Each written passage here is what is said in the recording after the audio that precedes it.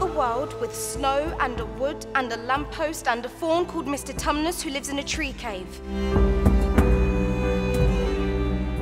What Lucy is saying is true. There really is another world beyond the wardrobe.